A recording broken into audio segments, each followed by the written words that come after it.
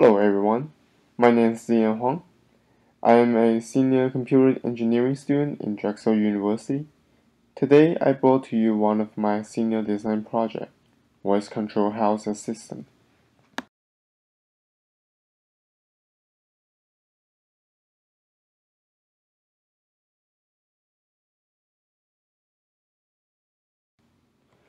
Everyone nowadays use Siri from iPhone or Cortana in Windows 10.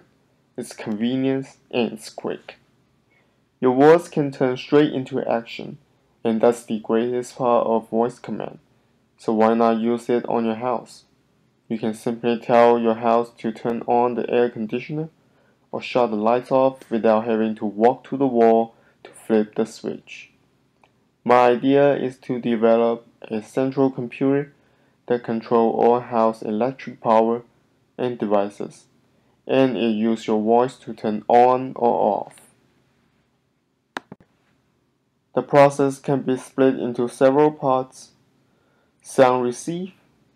This is the part which need to have the microphone set up and connect to the computer, and it needs to convert analog signal from your voice to digital signal for the computer.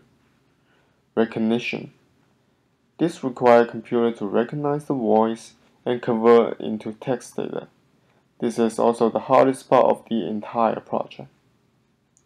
Programming.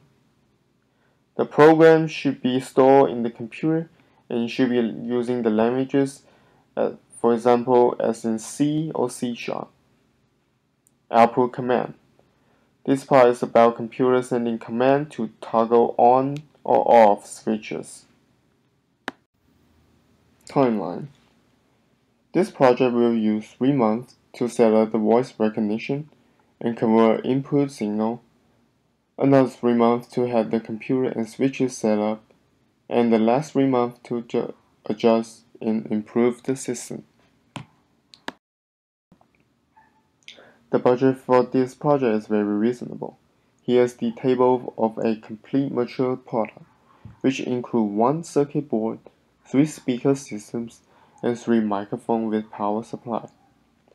For test purpose, there is no speakers, so it should be just under a hundred dollars. And all the wire can be acquired from the ECE laboratory. There could be some difference with the budget and the timeline part in the actual development stage.